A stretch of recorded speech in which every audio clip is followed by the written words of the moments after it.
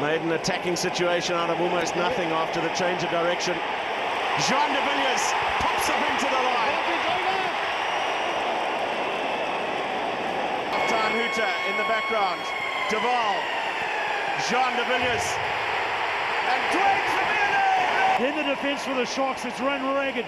It gets into Jean de Villiers' hands. He spreads it wide, and John Dwayne. Nobody Vermeulen- wanted the pass from January. Now Brok Harris fires away a dangerous pass. Jean de Villiers has done exceptionally well to rebuild the Gio Aplon. De Villiers. Vermeulen through the legs to January. De Villiers, the creator. Well judged by the winger. Bit of fancy footwork to try and Defence. get. De Villiers, the recipient, and goes through the gap. Ap- Charge down from Kankowski into the arms of Bismarck du Plessis. Duvanacher. Duval.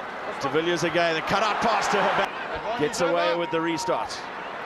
Advantage was called over as that loose pass was made and to Blanche under all sorts of... And Ngani steps through the tackle. He had it in Mvovo outside, just couldn't free up the Blue Bulls. They would travel to Cape Town for a semi-final next week. And the Sharks with the tough prospect of a full... De Jongh for De Villiers. De Villiers is away! Jean De Villiers and Mvovo will chase, but he will chase in vain. Yeah, he's the guy that finishes him off. He pushes Lambie off as if he's stomping out a cigarette. He runs straight through, scores a great try. Third of the